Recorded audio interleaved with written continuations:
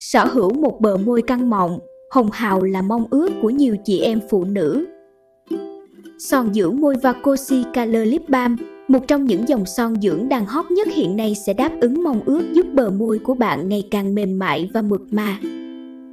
Công dụng son dưỡng môi Vacosi Color Lip Balm Với công dụng dưỡng ẩm hoàn hảo, và Cosi Color Lip Balm mang một màu sắc Mineral Bell PK một tự nhiên, độ bóng vừa phải và có khả năng dưỡng ẩm cho môi khi môi bạn bị bong tróc, khô ráp, nứt nẻ.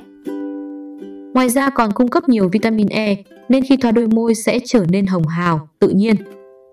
Chính nhờ sự kết hợp tuyệt vời giữa màu Pinot Bell, độ bóng và dưỡng ẩm đã giúp đôi môi bạn căng mọng, mượt mà thu hút mọi ánh nhìn. Đồng thời Vacosi Color Lip Balm chứa chất chống nếp nhăn nên có thể kiềm hãm, ngăn chặn quá trình lão hóa môi. Với son dưỡng môi Vacosi, bạn có thể sử dụng như lớp lót trước khi tô son màu để đè lên tạo một lớp nền bảo vệ môi, ngăn tình trạng môi khô. Bên cạnh đó, với những ai thích make up theo kiểu nhẹ nhàng có thể sử dụng mỗi Vacosi Color Lip Balm cũng được. Mùi thơm của son là sự hòa quyện của hương vị trong quả đào nhiệt đới thêm ít vani đã tạo nên một hương thơm ngọt ngào cho son dưỡng Vacosi.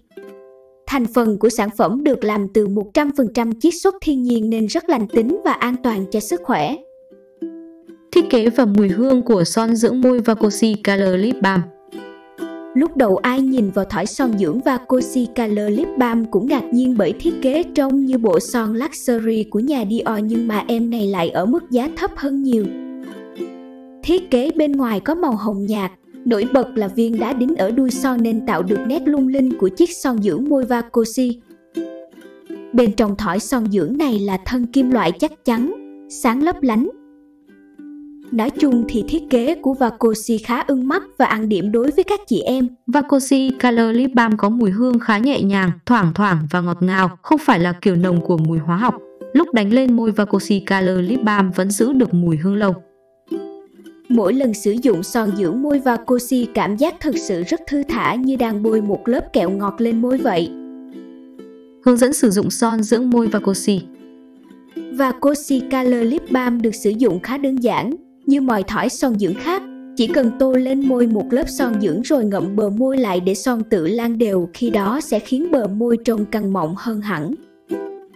Có thể dùng son làm lớp lót trước khi tô son màu hoặc đè lên son màu. Hãy thường xuyên mang son dưỡng theo bên mình để khi nào thấy môi có vẻ khô thì sử dụng ngay để lấy lại sức sống cho đôi môi nhé. Lưu ý bảo quản son ở nơi khô ráo. Xuất xứ Hàn Quốc Thương hiệu và Vacosi